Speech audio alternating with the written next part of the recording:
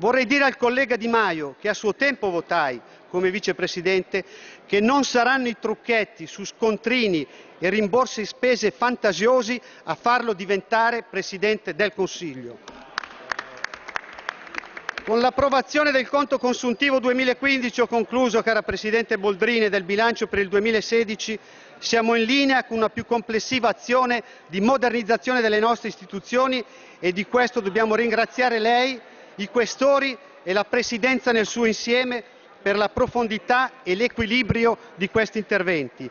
Tutti motivi per il convinto voto favorevole del gruppo del Partito Democratico. Grazie, deputato Marantelli. Allora, prima, prima di passare al voto, colleghi, c'è il questore D'Ambruoso che chiedeva la parola.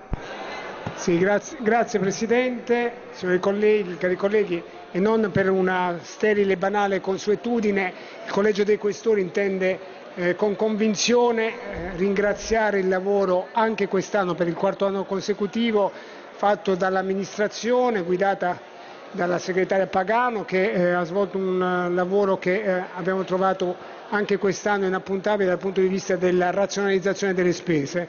E, eh, quindi c'è un sentito ringraziamento da parte del questore Fontana, del questore Fontanelli da parte di chi vi parla e una uh, vicinanza per tutte le eh, parole aggressive che comunque anche oggi non sono mancate. Quindi grazie davvero per eh, l'ottimo lavoro e ci auguriamo di proseguire con la stessa professionalità l'anno prossimo che è un anno che tutti sappiamo essere particolarmente impegnativo per il lavoro di unificazione dei ruoli che ci aspettano. Grazie.